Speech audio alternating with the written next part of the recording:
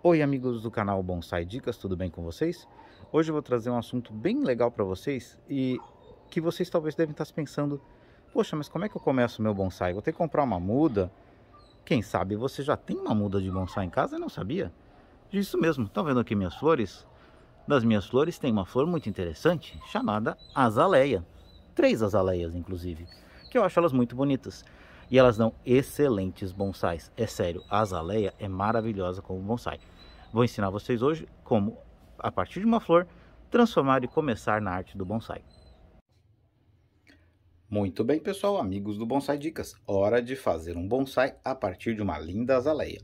Uh, esse vídeo eu vou dividir em duas partes. Primeiro eu vou ensinar vocês o jeito mais fácil e depois o jeito um pouco mais trabalhoso. Não é mais difícil, mas vai dar um pouquinho mais de trabalho. Por que, que esse é o jeito mais fácil? Porque aqui eu tenho uma excelente muda de azaleia que eu comprei não faz muito tempo, porque ela estava cheia de flores. As flores secaram, a planta continua bonita. Ou seja, é uma muda daquelas que você compra de flor para fazer enfeite do seu jardim, da sua casa. Foi-se o tempo das florzinhas, tá vendo que secou já. Sobrou a plantinha. Vocês estão vendo por que ela pode ser um excelente bonsai? Ela é um arbusto, então a azaleia é uma flor, só que é uma flor, diria assim, uma mini árvore, Será que é uma árvore mesmo? Qual é a diferença? Alguém que é botânico aí da biologia pode deixar nos comentários essa diferença? Porque eu não sei dizer. Mas ela funciona muito bem. Vocês vão procurar na internet. Eu vou tentar botar alguma foto aqui para vocês verem como pode ficar maravilhoso um bonsai de azaleia. Então, fica realmente bonito. Tá vendo aqui, ó? É lindo. Então, vamos lá. Agora, por que, que esse é mais fácil? Simplesmente eu vou retirar as nossas queridas argilas expandidas que eu coloquei por cima da muda, tá? Não veio assim do mercado, gente. Vamos lá. Sabe aqueles bonsai fakes de mercado que a gente fez lá no primeiro vídeo? Pois então, né? Eles são bonitinhos, mas são ordinários. Agora a gente vai transformar esta linda mudinha de azaleia, que era uma florzinha do meu jardim, num excelente bonsai.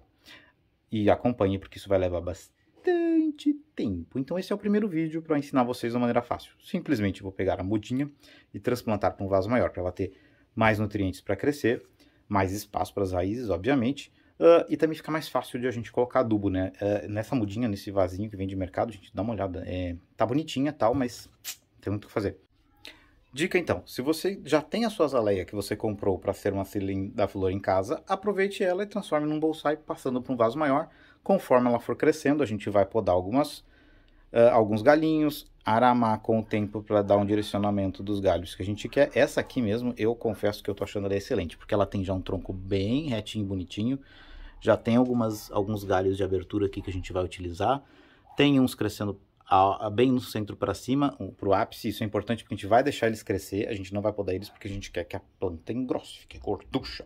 Porque quanto mais gordinho o caule, principalmente se ele é da base para cima, ou seja, parece mais uma árvore, mais vale o seu bonsai, mais bonito ele fica. Bora transplantar essa buchinha?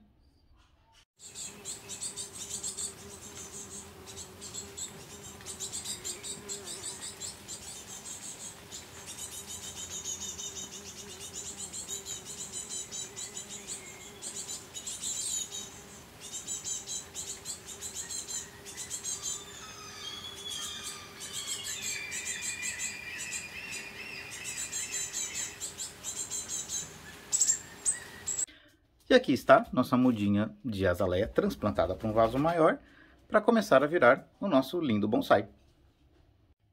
Gostou desse vídeo? O Billy gostou. Olha o rabinho dele. Billy, dá oi pros meninos, dá oi pro pessoal. Inscreva-se no canal. Toda semana, novos vídeos, novas dicas. Acompanhe o crescimento desta linda azaleia no bonsai.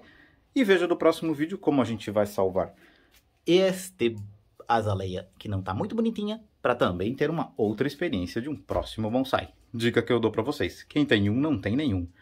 É bom fazer mais de um.